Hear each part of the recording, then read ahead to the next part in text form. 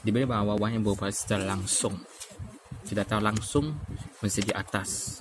Y berubah, simbol ini berubah secara langsung dengan X. Kita dapat inilah. Eh, dan betul kita ini kita mesti hubungan mesti tukar dalam bentuk formula sama dengan kita nak sama dengan kita mesti ada satu nilai yang tetap nilai K nilai K ni nilai tetap lah nilai sebenarnya ni boleh pilih sebarang simbol lah tidak semesti K lah dia boleh pilih uh, A sampai Z yang asal jangan bertentang dengan yang ada Y atau X saja lah. Tapi kita selalu kita pilih K lah. K maksud wakil. Nilai tetap. Dan kita ganti nilai Y dia 24 K kita memang tak tahu nak cari.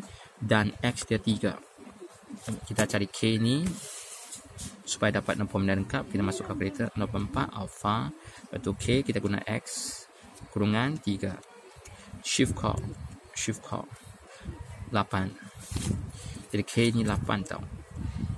Bila K dapat nilai tetap dapat kita mesti ganti balik ke formula yang tadi yang tak lengkap ini.